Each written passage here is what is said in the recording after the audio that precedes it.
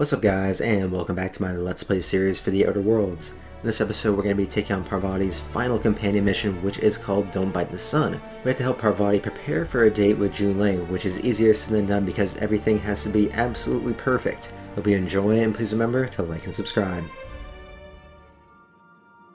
Hey, Captain. I got a thing I want to ask you. It's kind of big. Sure, what do you need? I was thinking about what you said before, after we went to the Lost Hope on the Groundbreaker. I reckon you're right. I think I'm ready to stop fretting and fussing and and ask Junlei to go steady, straight out.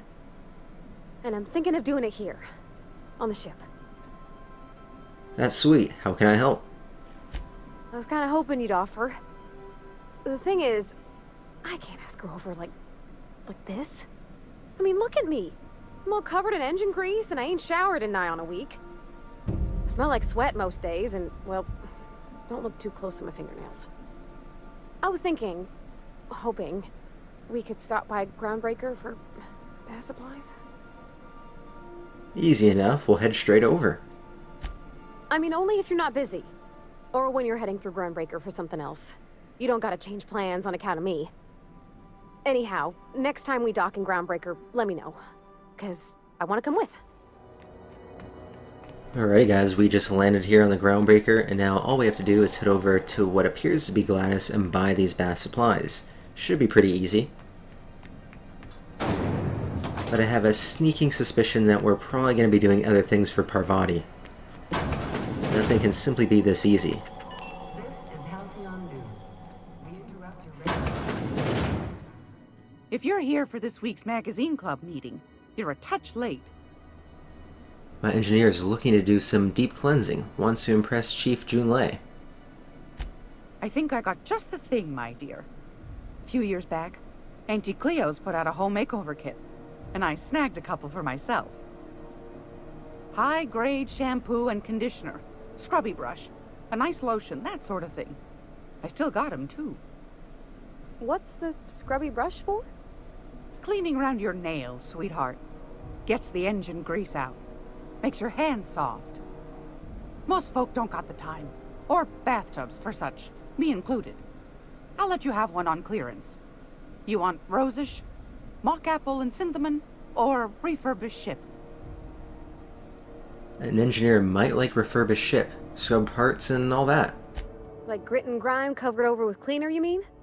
Well, that's a smell means we're really going places. I'll just wrap that up for you, since it's for a special occasion. I'll pay for that, ma'am. Thanks for being so helpful. You're welcome, dear. Alright, see you later. Anytime, sweetheart. You know where to find me. Groundbreaker's safe from melting to bits now. Lots of good people can rest easy because of you.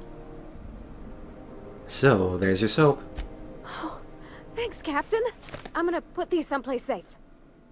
In her messages, Junlei said her mama used to make this dish for Monarch. Dustback casserole. Salt tuna and xenogold needle mushrooms. And then for dessert, there's a thing called, uh, sweetheart cake. It's made with almond paste and wax gourds. There's gotta be some place in Stellar Bay that can bake a casserole. And I heard tell there's a Rizzo's town near there called Cascadia what specializes in sweets. Alright, we'll figure it out. Thanks, Captain. I know I'm asking an awful lot, but I'm sure it's gonna be worth it. Yeah, sure, you're my favorite crew member anyways. I'll see you guys on Monarch. How you been doing, Yoko? If you ever want to talk about what happened, my ears are open. I appreciate it, but I've just got to let it settle a while. Maybe chase it off with a drink. Besides, you know what? I've got a new crew. That doesn't make it any less painful, but it does help distract me from time to time. Well, don't worry. I won't let us get dead. Whoa, by the stars, my poor heart. I just about pissed my jumpsuit. Sorry, I didn't mean to startle you. Most people don't. Besides, this place is enough to try anyone's nerves. How's that? Where should I begin? With the oversized mantisaurs? Or perhaps the rap spewing acid at our walls? The board was right. This place isn't fit for human habitation. and I was a fool for staying. My engineer is looking to get a dustback casserole. Can you cook one of those? That was a real popular meal 10, 20 years back, before the board tucked tail and ran. These days, everybody's had a belly full of salt tuna. They all want borscht. And the mushrooms, well, not many venture out of town, what with the monsters hereabouts. I can whip one up for you, but it'll cost. Here's a menu. Oh, yikes. I can't cover this much, Captain. You take me for an idiot. No damn casserole's worth that much. Try again, and try harder. What? No, Captain, I, I don't want you to do it this way. It's all right, miss. I'm a coward at heart. Made that clear from the outset. Look, Captain. This is the best I can do without putting myself out of business. I'm glad you saw a reason. 2,000 bits is much more reasonable. I'm mighty glad you reckon so. This is gonna take about an hour in the oven. Nothing I can do to speed it. That's just how cooking works. I'm surprised we didn't actually have to go out and get the ingredients ourselves. There we are. Now, if you don't mind, I really need to take a leak. My belly's gurgling just to smell it, Mr. Raymond. Thank you so much. A pleasure to help such a charming young lady. You're a gentle soul, miss. Be careful with this one, all right? He's kind of a brute. Oh, gosh. My tum's rumbling just smelling that casserole. Alrighty, we still need to get dessert sorted, so let's take a look at the map. Ah, we're going down here, eh? Alright, we might as well just fast travel. I'll see you guys there. So I think we cleared this place already, if I remember correctly. No red dots on the map yet.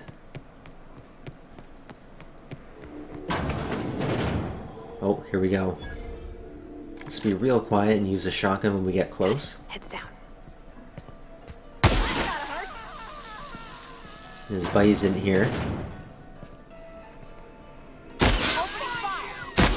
I'm pretty sure Parvati called these sweetheart cakes or something, so I'm assuming something like a Twinkie. Aren't those cakes just about the cutest little things you ever seen? Looked like orange slices to me. The dustback casserole Mr. Raymond made smells incredible. Oh, I kind of want to take a little taste. But I'm gonna be strong.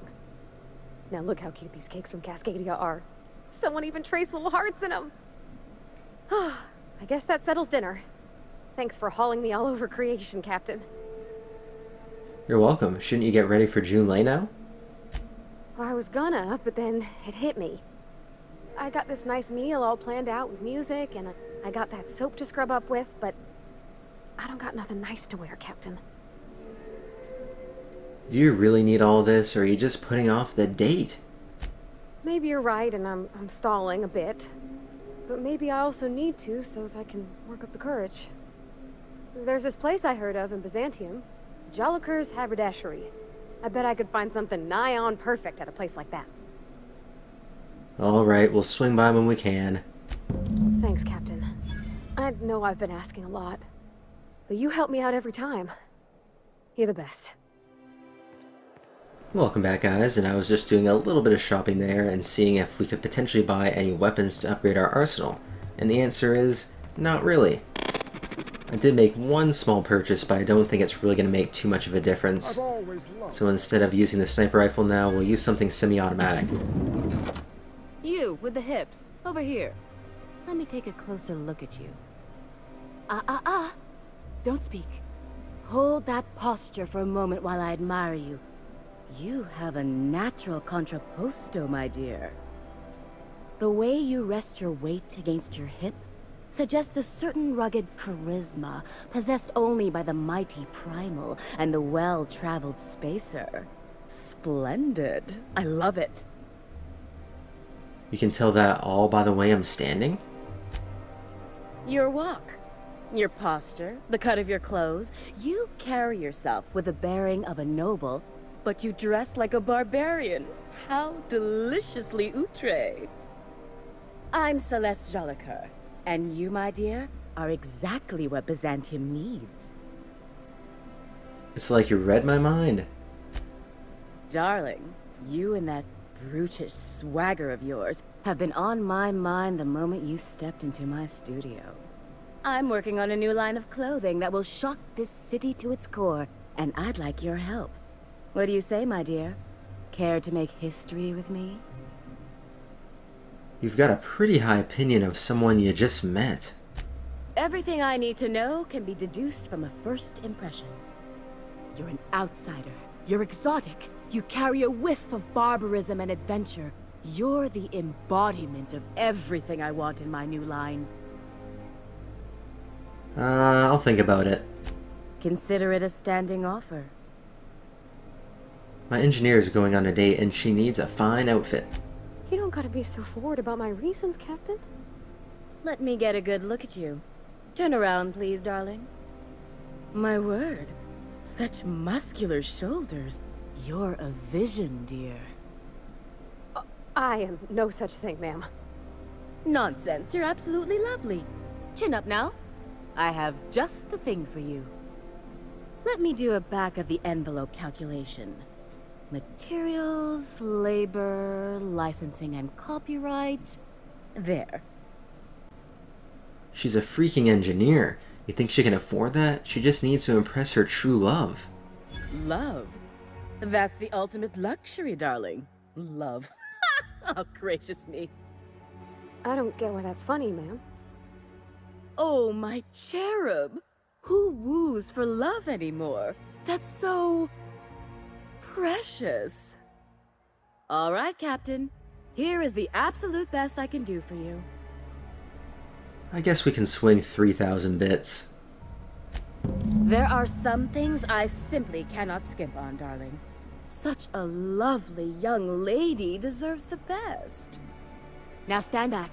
Back, back. I'll enter the settings and get these machines spinning. You'll be broke to bespoke in nearly an hour.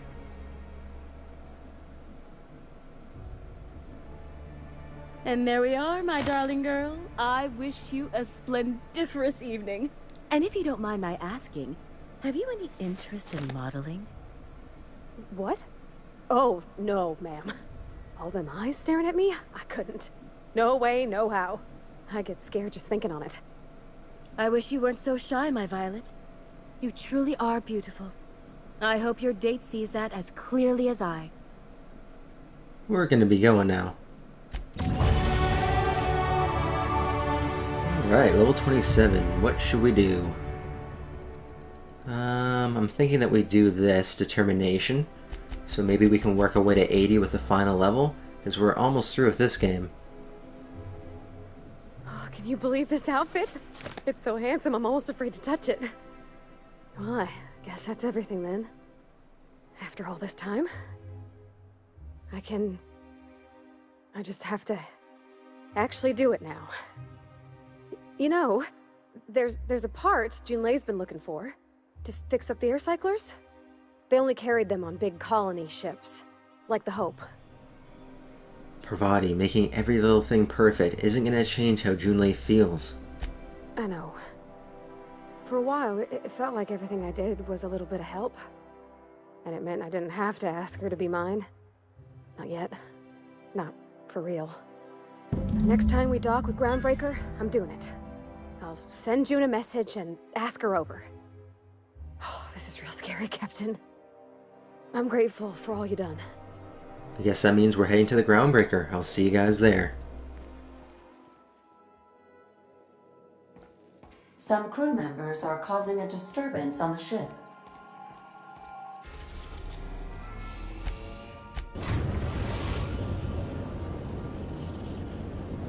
We've arrived at the Groundbreaker. Oh, so it looks like we have to talk to her inside the ship. So she's gonna handle things from here on out. I think that's all for the best as well. All right. She's on her way. How do I look? Where's your 3000 bit dress? Oh, my hands have finally stopped shaking. All right, all right. Deep breath. Here I go. Let's go see if we can snoop. You might want to consider changing your clothes more often. Wonder if the other crew members are giving them some space because they generally tend to stick in that area. I think that's your answer. Hey, you got a minute? Anyhow, so I told him, Dad, I'm a big girl now. I ain't need your help. I can do it on my lonesome. What did he say to that? Have at it then. And he handed me his favorite wrench, the one he used for the canner. He's probably half as tall as I was. He didn't scold you for talking back to him? Nah, he was never like that. I always thought it was funny when I'd get indignant about something.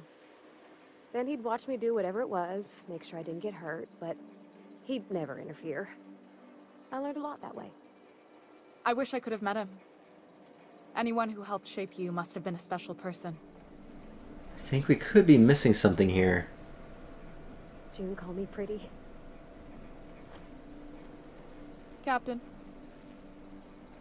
My father and I were often at loggerheads.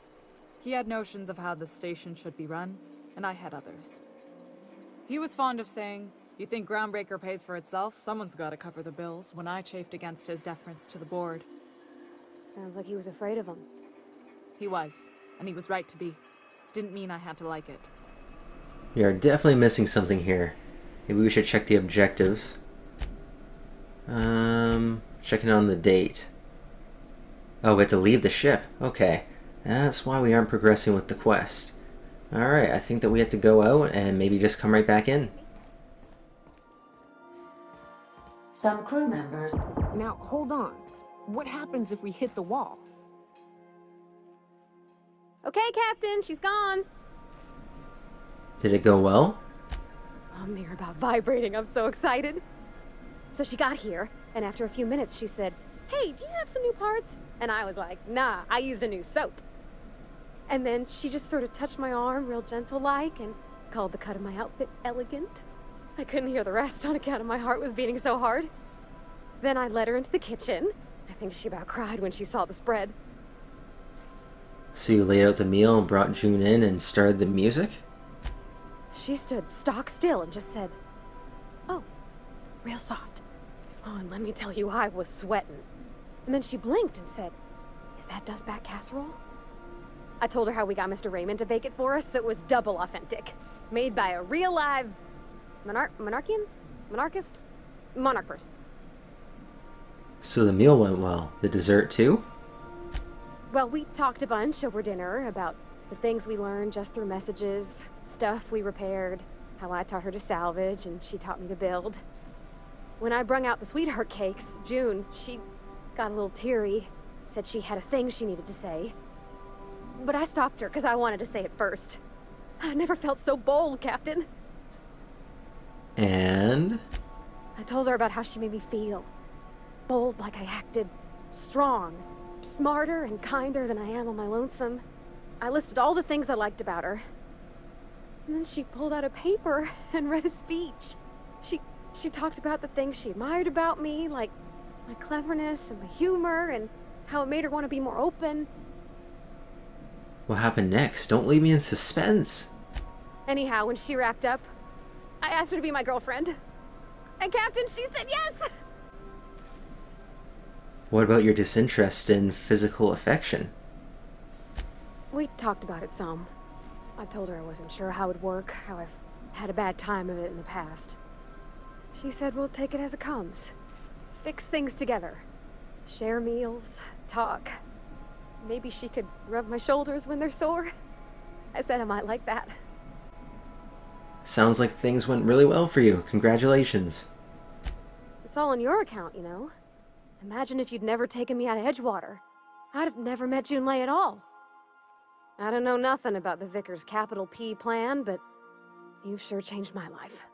So, if you don't mind, I'm just gonna head to my cabin and happy scream into my pillow for like an hour.